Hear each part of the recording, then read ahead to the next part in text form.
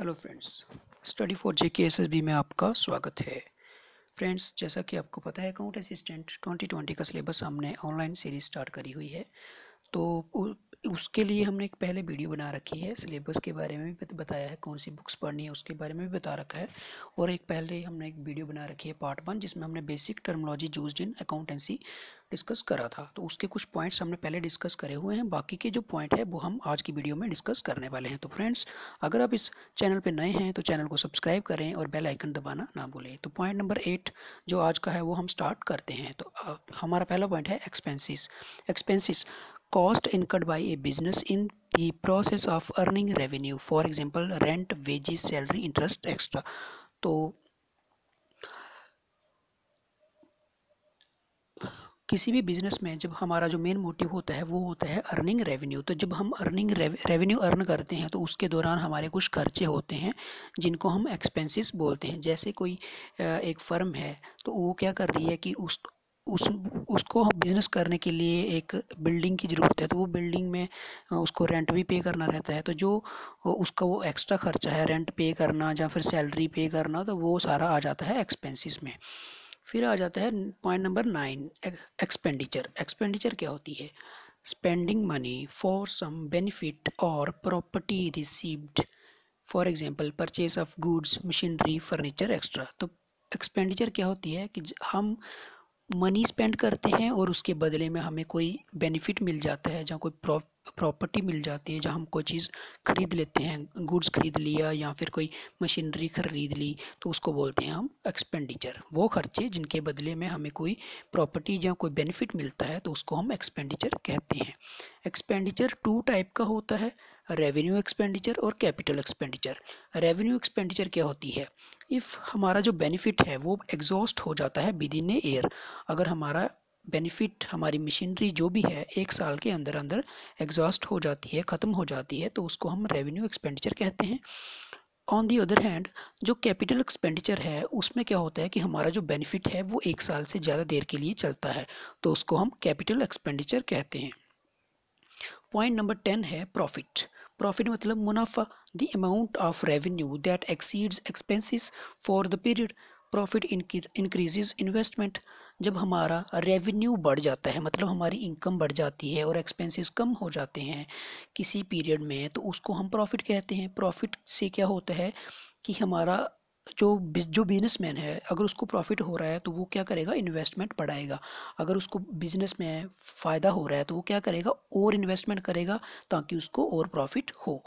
तो eleventh point है loss the excess of, the excess of expenses of a period over its related revenue, it decreases owner's equity.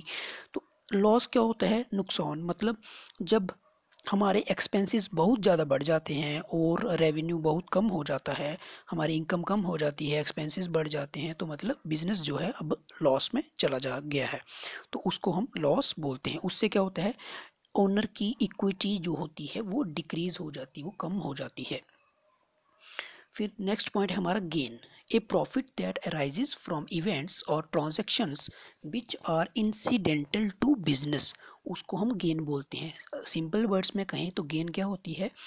जब एक इंसान है, वो हम एक बिज़नेस कर रहा है, मान लो कि वो बिस्किट बेच रहा है, लेकिन उस, वो उस, उसके पास एक कार है, उसने क्या किया, वो कार को बेच दिया तो उसको कुछ प्रॉफिट हुआ। वो जो प्रॉफिट है, उसको गेन में ऐड करते हैं, ना कि प्रॉफिट में। वो प्रॉफिट नहीं है, वो गेन है। गेन उसको तब होगा जब उसने वो सारी, वो एक्टिविटी करी जो उसकी बिज़नेस के हिसाब से नहीं थी जो उसका बिज़नेस में नहीं थी क्योंकि वो डील करता है बिस्किट में। उसकी जो कंपनी है वो बिज़नेस में डील सॉरी बिस्किट में डील कर रही है तो लेकिन उसको जो प्रॉफिट हुआ वो किससे हुआ? उसकी कार बेचने से। तो इसलिए वो गेन होगा ना कि प्रॉफिट तो प्र, आ, अगला पॉइंट है डिस्काउंट थर्टीन पॉइंट है डिस्काउंट डिस्काउंट क्या होती है? It is the reduction in the price of goods sold तो गुड्स के प्राइस में जो सामान है उसके प्राइस में जब कटौती होती है तो उसको हम डिस्काउंट कहते हैं। जैसे हम दुकान पे जाते हैं तो लिखा रहता है कि ten percent discount twenty percent discount मतलब कि अगर वो सौ रुपये की चीज़ है तो वो आपको दस दस परसेंट डिस्काउंट करके नाइन्टी की दे देंगे तो वो दस परसेंट जो है, वो आपका डिस्काउंट हो जाता है। फोर्टीन पॉइंट है वाउचर वाउचर क्या होती है?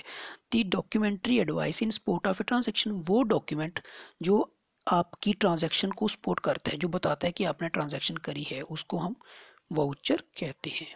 फिफ्टींथ पॉइंट है cash memo cash memo document stating cash received for goods sold वो डॉक्यूमेंट जिसमें ये बताया जाता है कि आपने गुड्स जो खरीदी हैं, उन, उसका पैश, उसका कैश जो है रिसीव कर लिया है तो उसको बोलते हैं कैश मेमो वो डॉक्यूमेंट जिसमें ये बता रखा होता है कि आपने कैश पेमेंट कर दी है, जब रिसीव कर लिया है, उसको बोलते हैं cash memo invoice if we buy on credit जब हम क्रेडिट पे कोई चीज़ खरीदते हैं तो हमें एक इन्वाइस मिलता है, एक रिसिप्ट मिलती है, जिसको हम इन्वाइस कहते हैं, या फिर जिसको हम बिल्ड भी कहते हैं। तो ये हमें बाद में फ्यूचर में पे करने रहते हैं। सेवनटीन पॉइंट है receipt when we make a payment we get a receipt जब भी हम कोई पेमेंट करते हैं तो हमें एक रिसिप्ट मिलती है।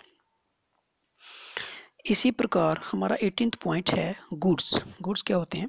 It refers to the products in which business unit is dealing एक बिजनेसमैन एक बिज़नेस एंटिटी खोलता है, उस बिज़नेस यूनिट खोलता है फर्म एंटरप्राइज खोलता है। वो एंटरप्राइज किस चीज़ का बिज़नेस कर रही है? उन सारी चीज़ों को हम गुड्स कहते हैं। जैसे राम है, उसने क्या कर दिया?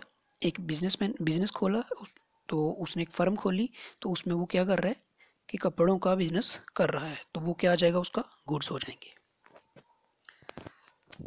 अगला हमारा पॉइंट है नाइनटीन पॉइंट ड्राइंग्स ड्राइंग क्या होती है?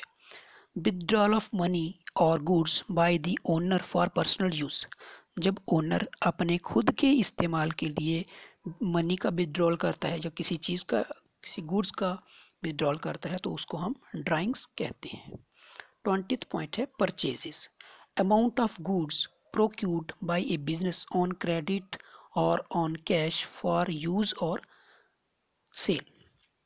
तो वो सारे गुड्स जो बिजनेसमैन ख़रीदता है अपने यूज़ के लिए या फिर सेल के लिए बिज़नेस के यूज़ के लिए या फिर उसकी सेल के लिए तो उसको हम बोलते हैं परचेजेस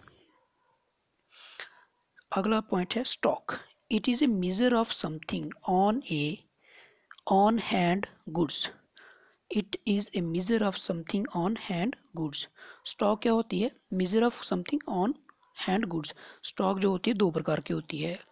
क्लोजिंग स्टॉक और ओपनिंग स्टॉक। अब स्टॉक सही से होता क्या है?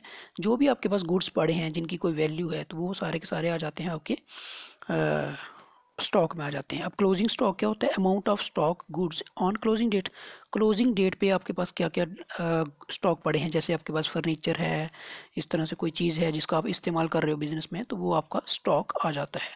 तो अगर आप क्लोजिंग डेट पे जो जो आपके सही हैं, अच्छे हैं स्टॉक पड़े हुए हैं, उनको हम बोलेंगे क्लोजिंग स्टॉक ओपनिंग स्टॉक क्या होता है? Amount of stock at the beginning of accounting period जब आपका कोई period accounting period year start होता है तो आप देखते हो कि हमारे पास कौन कौन सी चीज़ पड़ी हुई है। जैसे कि अपने, अपना फर्नीचर चेक कर ले कि हाँ ये चीज़ सही है, ये चीज़ सही है तो वो सारा का सारा जो चीज़ सही है, जिसका भी आप यूज़ करोगे नेक्स्ट ईयर के लिए, वो सारा का सारा आपका ओपनिंग स्टॉक में आ जाता है। ट्वेंटी पॉइंट है डेटर्स डेटर्स क्या होते हैं? Debtor are the person who owe to an enterprise an amount तो डेटर कौन होते हैं? मान लिया कि आपने उधार पर गुड्स बेचे तो जिसको भी आपने बेचे, वो आपको फ्यूचर में पे करेगा।